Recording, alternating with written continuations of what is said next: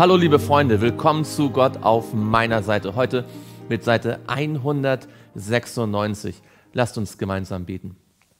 Herr, wir danken dir so sehr, dass du jeden Tag durch dein Wort zu uns sprichst. Und wir möchten dich bitten, dass wir anderen davon auch erzählen dürfen, dass wir, so wie die Leviten überall in Israel verstreut gewesen sind, an den Ort, an den du uns stellst, ein Zeugnis für dich geben können. Herr, lass uns heute ein Segen sein und segne uns durch dein Wort Sprich du durch den Heiligen Geist zu uns, das bitten wir im Namen Jesu. Amen. Wir sind in 4. Mose 35 bei den Bestimmungen über die Zufluchtsstätte und der Beschreibung der Blutrache-Bestimmungen. Ähm, es geht darum, wann ein Totschläger den, ähm, von einem vom Blutrechter getötet werden soll und wann er das Recht hat, eine Zufluchtsstadt aufzusuchen. Wir lesen ab Vers 23. Oder wenn er irgendeinen Stein, von dem man sterben kann, auf ihn wirft, sodass er stirbt und hat es nicht gesehen und ist nicht sein Feind und wollte ihm auch keinen Schaden zufügen, dann soll die Gemeinde zwischen dem, der geschlagen hat, und dem Blutrecher nach diesen Rechtsbestimmungen entscheiden. Und die Gemeinde soll den Totschläger aus der Hand des Blutrechers erretten und ihn wieder zu seiner Zufluchtsstadt führen, in die er geflohen war, und er soll dort bleiben bis zum Tod des hohen Priesters, den man mit dem heiligen Öl gesalbt hat. Das Leben des hohen Priesters war die Garantie für das Überleben des Totschlägers.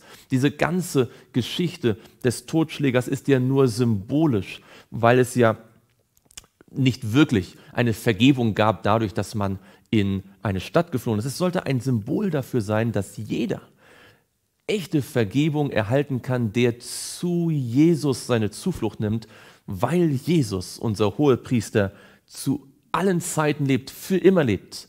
Und deswegen dürfen wir sicher sein, dass diese Zuflucht niemals aufhört, weil Jesus niemals stirbt. Wenn allerdings der Totschläger aus dem Gebiet seiner Zufluchtsstadt, in die er geflohen ist, hinausgeht und der Blutrecher ihn außerhalb der Grenzen seiner Zufluchtsstadt findet und der Blutrecher tötet den Totschläger, so hat er keine Blutschuld. Wenn wir bei Jesus waren und dann Jesus verlassen, dann können wir nicht darauf hoffen, weiterhin ewiges Leben haben zu können. Dann ist das nicht mehr möglich. Dann trifft uns unsere Schuld.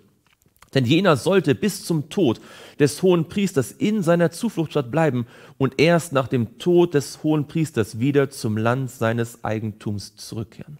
Wann durfte der Totschläger wieder in seine Heimat zurück, wenn der Priester gestorben war, der Hohepriester, so lange sollte er in der Zufluchtsstadt bleiben.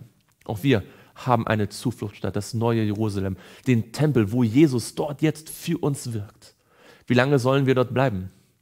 Bis zum Tod des Hohen Priesters. Und wann wird er sein? Unser Hohepriester wird niemals sterben. Er lebt bis in alle Ewigkeit, von Ewigkeit bis Ewigkeit. Wann kommen wir dann also nach Hause auf unsere neue Erde? Nun, genau dann, wenn auch unsere Zufluchtsstadt, das neue Jerusalem, auf diese Erde kommt. Selbst dann, wenn wir unsere ewige Heimat hier neu in Besitz nehmen werden, werden wir unsere Zufluchtsstadt nicht verlassen. Denn Jesus wird bei uns sein. Das neue Jerusalem wird auf der neuen Erde sein. Dann werden wir zugleich in unserer Zufluchtsstadt sozusagen als auch auf, unserer, auf der neuen Erde, in unserer Heimat sein können. Und dies soll euch als Rechtssatzung gelten für alle eure Geschlechter in allen euren Wohnorten. Jeden, der einen Menschen erschlägt, auf die Aussage der Zeugen hin soll man den Totschläger totschlagen. Ein einziger Zeuge aber genügt nicht, um gegen einen Menschen zur Hinrichtung auszusagen, sondern wie wir an anderen Stellen in der Bibel sehen müssen, es immer zwei oder drei Zeugen sein. Und ihr sollt kein Lösegeld annehmen für das Leben des Totschlägers, der des Todes schuldig ist, sondern er soll unbedingt getötet werden. Ihr sollt auch kein Lösegeld von dem annehmen, der zu seiner Zufluchtsstadt geflohen ist, damit er vor dem Tod des Priesters zurückkehren und in dem Land wohnen kann. Und ihr sollt das Land nicht entweihen, in dem ihr euch befindet. Denn das Blut entweiht das Land und für das Land kann keine Sühnung erwirkt werden, wegen des Blutes, das daran vergossen worden ist, außer durch das Blut dessen, der es vergossen hat. Und deswegen musste Jesus am Kreuz sterben. Es kann keine Gerechtigkeit und keine Sühnung geben, wenn nicht der, der gesündigt hat, sein Blut dafür gibt. Aber Jesus möchte mich, den Sünder, retten. Deswegen hat er sich mit mir, dem Sünder, so sehr identifiziert, dass er das Blut vergossen hat, das eigentlich ich hätte vergießen müssen, weil er als Gott und Mensch, als Sündloser, den Tod besiegen konnte, was ich niemals hätte tun können. Denn ich wäre für immer verloren gewesen, aber Jesus konnte Tod und Teufel besiegen. Und so ist er für mich ganz real gestorben. So verunreinigt nun das Land nicht, in dem ihr wohnt und in dessen Mitte ich wohne, denn ich, der Herr, wohne in der Mitte der Kinder Israels. Lieber Freund, liebe Freundin, Jesus wohnt in deiner Mitte. Das ist sein Wunsch. In deiner Familie, in deiner Gemeinde. Leben wir so, dass er auch in unserer Mitte wohnen kann? Und die Familienhäupter des Geschlechts der Kinder Gileads, des Sohnes Machias, der ein Sohn Manasses war, vom Geschlecht der Kinder Josefs, traten dazu und redeten vor Mose und vor den Fürsten, den Familienhäuptern der Kinder Israels. Und sie sprachen, der Herr hat meinem Herrn geboten, dass ihr den Kindern Israels das Land zum Erbteil durch das Los zuteilen sollt. Und mein Herr hat von dem Herrn ein Gebot empfangen, dass man das Erbteil Zelophrats, unseres Brüders, seinen Töchtern geben soll. Wenn sie nun einen von den Söhnen der Stämme der Kinder Israels heiraten, dann wird ihr Erbteil von dem Erbteil unserer Väter abgezogen, und was sie haben, wird dem Erbteil des Stammes hinzugefügt, dem sie angehören werden so wird es vom Los unseres Erbteils abgezogen. Auch wenn das Halljahr der Kinder Israels kommt, dann wird ihr Erbteil dem Erbteil des Stammes beigefügt, dem sie angehören werden, so wird dann von dem Erbteil des Stammes unserer Väter ihr Erbteil abgezogen. Und Mose gebot den Kindern Israels nach dem Befehl des Herrn und sprach, der Stamm der Kinder Josefs hat redet recht.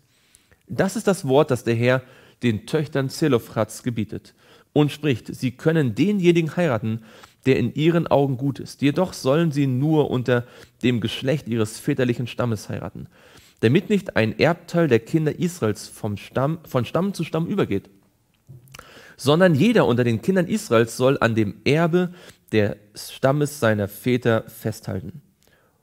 Und jede Tochter, die unter den Stämmen der Kinder Israels ein Erbteil besitzt, soll sich mit einem Mann aus dem Geschlecht des Stammes ihres Vaters verheiraten, damit jeder unter den Kindern Israels das Erbteil seiner Väter besitzt und damit nicht ein Erbteil von einem Stamm zu einem anderen Stamm übergeht, sondern jeder unter dem Stamm der Kinder Israels an seinem Erbteil festhält.